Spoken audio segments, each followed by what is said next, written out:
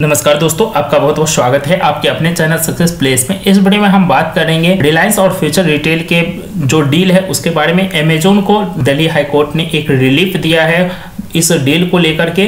तो इस डील के कारण जो रुकावट लगी है फ्यूचर डील पे दिल्ली हाईकोर्ट के द्वारा, उसके कारण आज फ्यूचर रिटेल में लोअर सर्किट देखने मिला। तो यहाँ आप देखते हैं, Delhi high court provide relief to Amazon, ask Future Group to maintain the status quo in its deal to sell its retail and wholesale asset to Reliance Industry in a major setback for both companies मतलब Delhi high court उसको relief दिया है तो ये deal रुकने के कारण जो फ्यूचर रिटेल का शेयर प्राइस है, आज लोअर सर्किट देखने मिला। तो ये देखते हैं फ्यूचर रिटेल का शेयर है, इसमें आज लोअर सर्किट लगा, चार रुपया ये माइनस में है four point nine six percent का लोअर सर्किट मतलब फाइव परसेंट का लोअर सर्किट इसमें लग चुका है। अगर वन में प्राइस की बात करें तो यहाँ पर देखते हैं सेवेंटी फोर रुपीज़ के आसपास था इसका लो प्राइस वन वीक में। अगर वन ईयर की बात करें तो वन ईयर में इसका लो प्राइस लगभग same to same seventy rupees के आसपास ही है। और इसका अगर 52 वीक लो की बात करें तो सिक्सटी रुपीज़ सेवेंटी पैसा, इसका 52 वीक लो प्राइस है। जो कि मार्च के गिरावट में अप्रैल के गिरावट में बनाया गया था। अगर मैक्सिमम वेयर में चार्ट की बात करें तो कभी ये स्टॉक सिक्स हंड्रेड रुपीज़ का हुआ करता था और अभी आपको देखते हैं मात्र सौ रुपीज़ के भी अंदर ये स्टॉक मिल रहा है, क्योंकि इसके ऊपर जो मुख्य वजह है वो डेट है। कंपनी के ऊपर काफ़ी ज़्यादा डेट है और अपने इस बिज़नेस को बेचकर वो डेट कंपनी का जो है वो चुकाना चाहती है, लेकिन बार बार अमेजोन जो है इसमें अड़चन आ रहा है इस डील को लेकर, क्योंकि अमेजोन इंटरेस्टेड है फ्यूचर रिटेल स्टोर को बाय करने में। अगर फ्यूचर रिटेल के फंडामेंटल्स की बात करें तो यहाँ देखिएगा मार्केट कैप है चार हज़ार एक सौ अस्सी करोड़, और करेंट प्राइस तो आपने देख लिया सेवेंटी सेवन के आसपास है, और 52 वीक हाई देख लीजिए, एक साल में भी ये तीन सौ के हाई प्राइस पे था। अभी मात्र ये सेवेंटी सेवन पे मिल रहा है। अगर कंपनी के ऊपर डेट की बात करें ग्यारह हज़ार आठ सौ नौ करोड़ का डेट है कंपनी के ऊपर जबकि रिज़र्व कंपनी पास काफ़ी कम है 2,906 करोड़। तो ऐसे डेट वाली कंपनियों में आपको कभी भी इन्वेस्ट करना चाहिए अगर रिलायंस लेता भी है तो काफ़ी कम वैल्यू देगा अपने से जो रिटेल शेयर होल्डर है। तो इसलिए आप इसमें कुछ खास ज़्यादा आपको नहीं मिलेगा लेकिन जो रिटेल इन्वेस्टर है ये काफ़ी ज़्यादा इंटरेस्टेड रहते हैं इस स्टॉक में। और यहाँ पर प्रमोटर्स होल्डिंग देख लीजिए 28 परसेंट है उसमें भी 64.8 परसेंट शेयर प्लीज़ है। जो 28 परसेंट है प्रमोटर्स के पास, उसमें से भी 64 परसेंट प्लीज़ है शेयर और फेस वैल्यू की बात करें तो इसका टू है। रिटर्न ऑन इक्विटी दो दशमलव तीन सिक्स परसेंट है, जबकि return on capital employment ten point nine percent. तो हर चीज़ कंपनी का काफ़ी बुरा हाल है। मतलब अर्निंग पर शेयर भी निगेटिव प्रॉफिट ग्रोथ भी निगेटिव प्रॉफिट भी निगेटिव कंपनी के ऊपर डेट भी काफ़ी ज़्यादा। तो हर चीज़ देखिए कंपनी का काफ़ी मतलब फंडामेंटल्स जो बिगड़ा हुआ है तो ऐसे स्टॉक में आप किस लिए सिर्फ़ इन्वेस्ट कर रहे हैं कि रिलायंस इसको ओवरटेक कर रही है? रिलायंस ओवरटेक की आलोक इंडस्ट्री को क्या मिला? कुछ नहीं मिला रिटेल इन्वेस्टर को तो ज़्यादा कुछ मिलने वाला नहीं है इस स्टॉक में।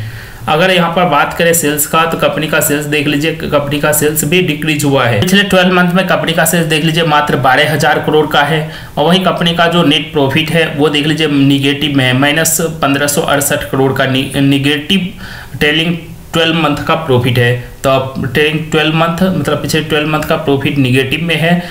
जबकि मार्च 2020 फाइनेंशियल ईयर में मात्र 12 करोड़ का प्रॉफिट 2019 में देखिए प्रॉफिट कितना गजब का था सात सौ सत्ताईस करोड़ का। तो प्रॉफिट भी निगेटिव में जा चुका है कंपनी का ऊपर काफ़ी डेट भी है। आ, अपने सारे स्टोर को बेचने के बाद भी कंपनी पूरा डेट अपना पे करने में सक्षम नहीं है।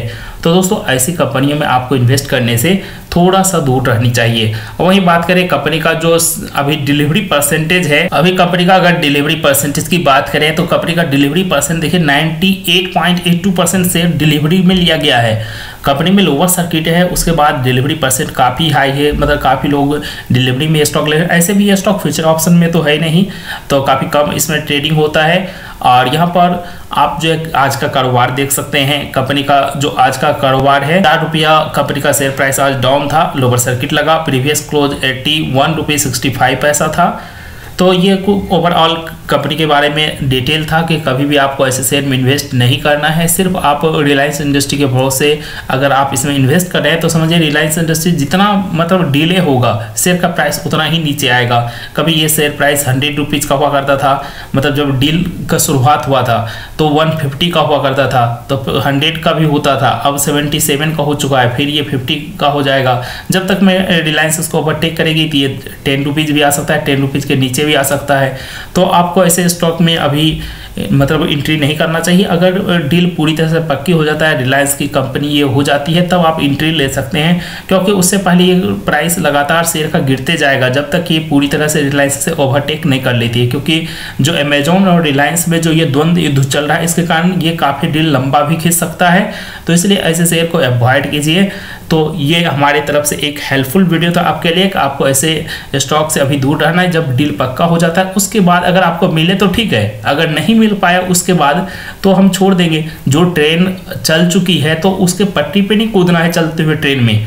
तो ट्रेन अगर पकड़ सकते हैं तो तब ठीक है। अभी ट्रेन में नहीं, अभी ट्रेन स्टार्ट भी नहीं हुए जब ट्रेन स्टेशन पे आ जाती है, तब चढ़ते हैं। अभी रिलायंस इसको लिया भी नहीं है। जब तक ओवरटेक रिलायंस कर नहीं लेते थी ये रिलायंस की कंपनी नहीं हुई, जो हम इसमें बाइंग करें। तो अभी आपको इससे दूरी बनाए रखना है। तो उम्मीद करते हैं वीडियो हेल्पफुल रहा हो तो वीडियो को लाइक और शेयर करना है। चाहे पहली बार है सब्सक्राइब कर लीजिए। आपने स्टॉक मार्केट में अपना ट्रेडिंग और डिमेट अकाउंट ओपन नहीं किया है तो आप जीरोधा के साथ ओपन कर सकते हैं एंजल ब्रोकिंग के साथ कर सकते हैं। अगर आपको ट्रेडिंग करना है तो एंजल ब्रोकिंग सबसे बेहतरीन प्लेटफॉर्म है, काफ़ी अच्छा मार्जिन देता है। आप हमारे लिंक से एंजल ब्रोकिंग अपना अकाउंट ओपन कर सकते हैं। साथ ही साथ जीरोधा में चाहे तो आप उसमें कर सकते हैं। जीरोधा और एंजल दोनों में आपको बीस रुपया पर ट्रेड चार्ज लगता है, और इन डिलीवरी में आपको कोई भी चार्ज नहीं लगता। कोई भी स्टॉक डिलीवरी में लेते हैं, आपको कोई भी ब्रोकरेज पे नहीं करना पड़ता है, और इंटरडे में सिर्फ़ ट्वेंटी रुपीज़ पर ट्रेड आपको चार्ज लगेगा।